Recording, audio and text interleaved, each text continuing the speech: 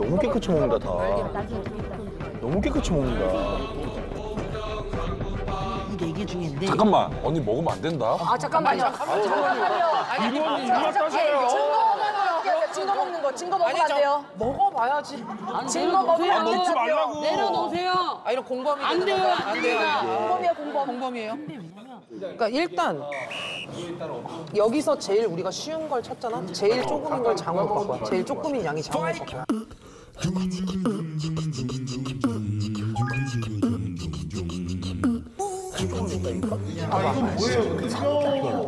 먹을 거야. 아니 선우 지금 다이어트 중이잖아. 아니야. 선욱이는 못 참어. 그래도 못 참을 것 같고.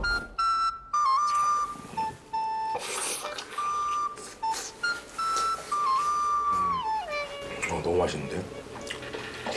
음. 오늘 다시 터졌다 식구 아 못 참아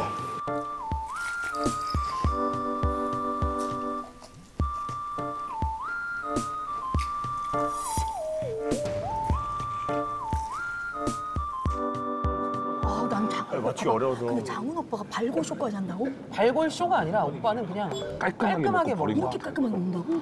그럴 수 있을 것 같아. 이게 장훈 오빠 시절 때는 이게 치킨이 300원이었을 거야. 그러니까. 그러니까는 그때 그때 그래서 300원 이라고? 홀딱이 이렇게 안 먹으면 혼났어. 아니야 장훈 오빠 때는 잡아서 먹었어. 아이 아니 뒷뜰에서. 이렇게 안 먹으면 혼났다니까 그때 할머니한테.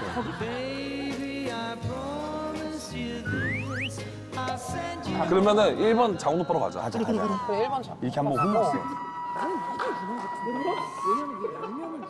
누가 선욱일 거야? 다른 것도 다이어트 하는 사람 치고 많이 먹었잖아.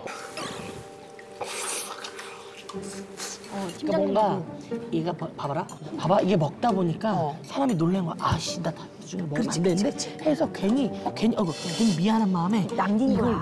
아, 튀김 부위를 다리야 다리. 응, 다이어트 한다 했으니까 다이어트 한다 했어 다이어트. 남겨야 되나? 이 사람 많이 안 먹은 사람 누굴까? 그럼 일, 이걸 선욱이라고 쓸까? 일단 하나씩 써볼까? 4번을? 어.